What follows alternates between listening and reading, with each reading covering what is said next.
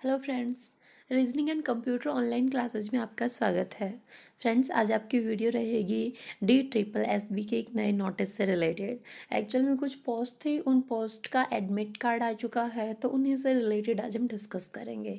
इससे पहले यदि आपने मेरे चैनल को लाइक एंड सब्सक्राइब नहीं किया है तो लाइक एंड सब्सक्राइब ज़रूर कीजिएगा, क्योंकि जो भी लेटेस्ट अपडेट रहती है, सबसे पहले उससे रिलेटेड वीडियो मैं अपने चैनल के ऊपर अपलोड करती रहती हूँ। तो अगर आपको फ़ायदा क्या मिलेगा, अगर कोई भी लेटेस्ट इन्फॉर्मेशन आएगी, आपने कोई फॉर्म वगैरह फिल कर रखा है, उसका एडमिट कार्ड या फिर उसकी एग्ज़ाम डेट क्या होगी उससे रिलेटेड इन्फॉर्मेशन सबसे पहले आपको मेरे चैनल के ऊपर मिलेगी ठीक है?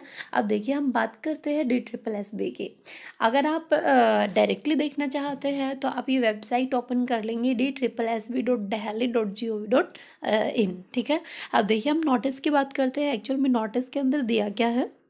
तो आ, आगे आप चलेंगे।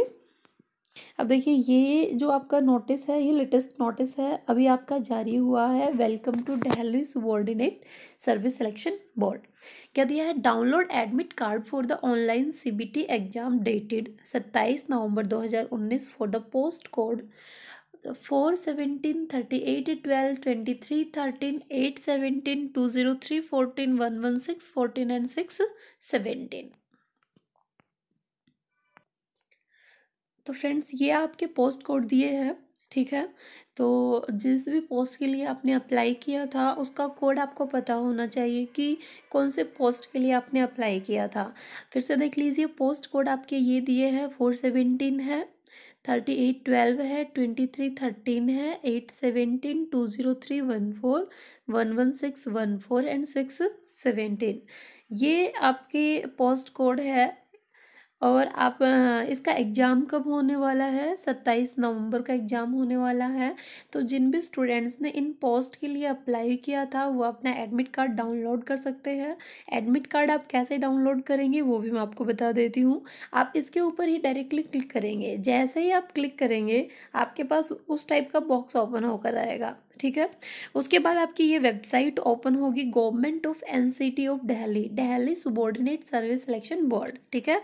F C eighteen institutional area Karkardooma Delhi अब देखिए यहाँ पर क्या दिया है? कैंडिडेट लॉगिन एप्लीकेशन नंबर और डेट ऑफ़ बर्थ जो आपने ऑनलाइन फॉर्म फिल किया था तो वहाँ पर एप्लीकेशन नंबर जनरेट हुआ होगा। तो जो एप्लीकेशन नंबर जनरेट हुआ था, वो एप्लीकेशन नंबर आपको यहाँ पर एंटर करना है। आपको अपनी डेट ऑफ़ बर्थ एंटर करनी है और आपको लॉगिन करना है।